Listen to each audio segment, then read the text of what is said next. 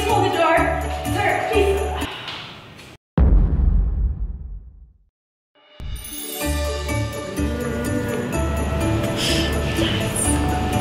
I thought you gotta eat healthier.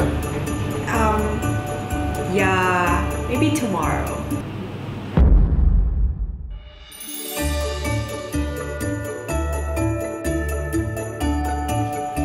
Aren't you eating healthy? I am. This is good for me.